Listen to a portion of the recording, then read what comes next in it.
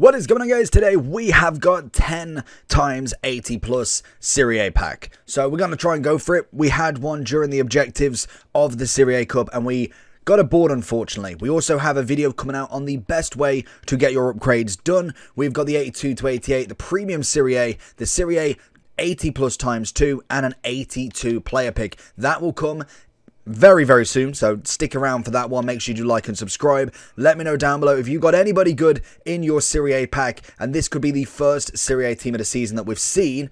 Praying for the blue. And it's not blue. The Serie A team of the season still awaits. We got Gosens in this. Make sure you like and subscribe on this. And I'll catch you all for the next one. Peace.